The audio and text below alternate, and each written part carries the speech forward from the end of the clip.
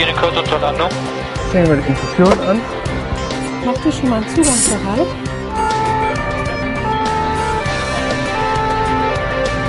Ja, alles gut. Kurz nach 7 Uhr früh in der Rendsburger Einsatzzentrale. Notärztin Christine Hein kann heute in aller Ruhe in den Arbeitstag starten. Dennoch gibt es keine Alarmierung für sie und ihr Team. Rettungsassistent Carsten Dummann checkt die Ausrüstung im Hubschrauber, Teil der morgendlichen Routine. Man sieht zu, dass man gut frühstückt, dass man eine gute Grundlage hat und dann kann der Tag beginnen. Man weiß nie, was passiert. Da macht man sich auch keine Gedanken. Ich glaube, das ist auch gar nicht förderlich. So, das sieht gut aus. Beide, Notärztin und Rettungsassistent, arbeiten seit Jahren in der Luftrettung. Das Tolle an ihrem Beruf sei, dass man Menschen meist sehr schnell helfen könne.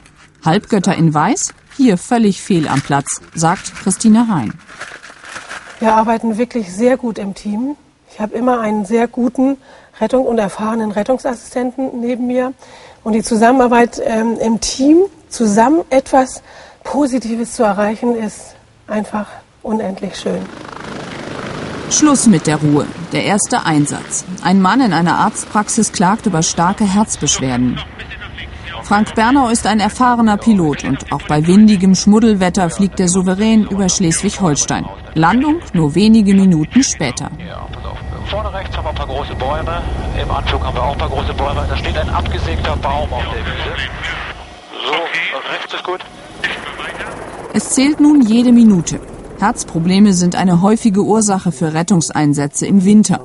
Doch zum Glück ist der Mann ansprechbar. Es besteht keine akute Lebensgefahr. Wir nehmen Sie jetzt mit und bringen Sie ins Krankenhaus nach Rendsburg. Der Hubschrauber fliegt ohne Patient zurück. Er fungiert oft als schnelles Ärztetaxi zum Einsatzort. Christine Hein begleitet den Mann im Rettungswagen. Überwacht gemeinsam mit einem Rettungsassistenten den Kreislauf.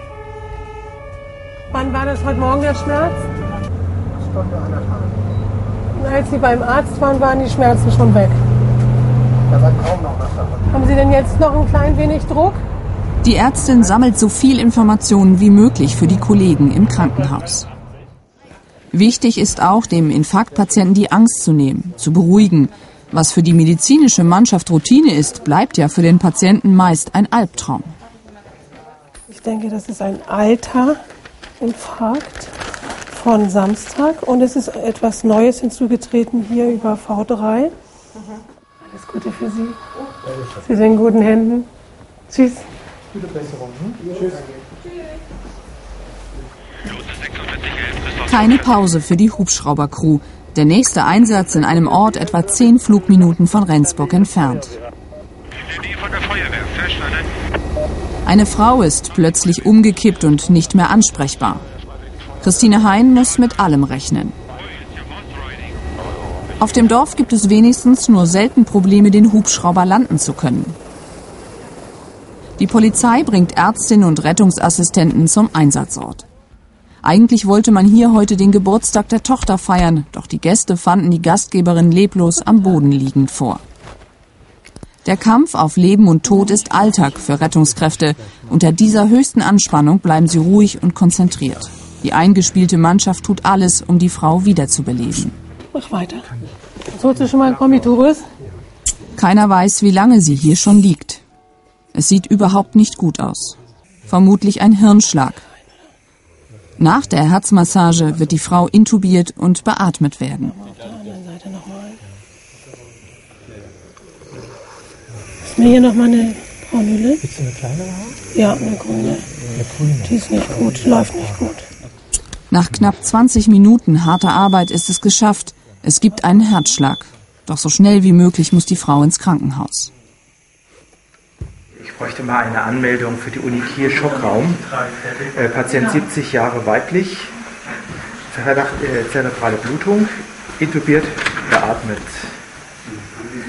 Zustand nach Reanimation. Vor Ort wird entschieden, die Patientin im Rettungswagen zu transportieren, der direkt vor der Tür wartet. Der Hubschrauber steht zu weit weg, wertvolle Zeit ginge verloren.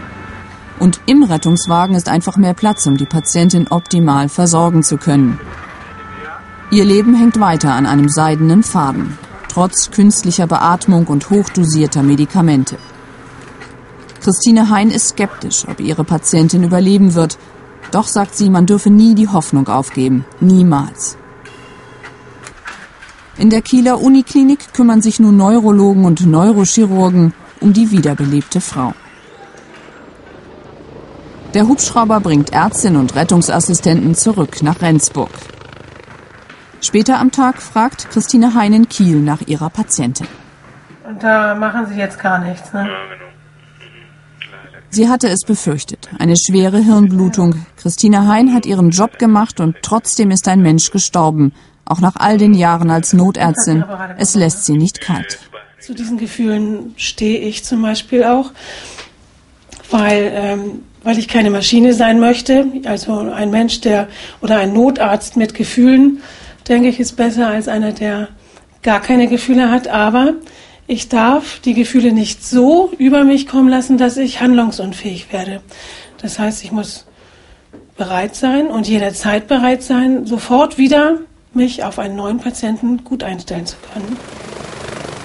Und der nächste Patient wartet auf ihre Hilfe. Für die Rendsburger Rettungsflieger war es bislang ein eher ruhiger Arbeitstag.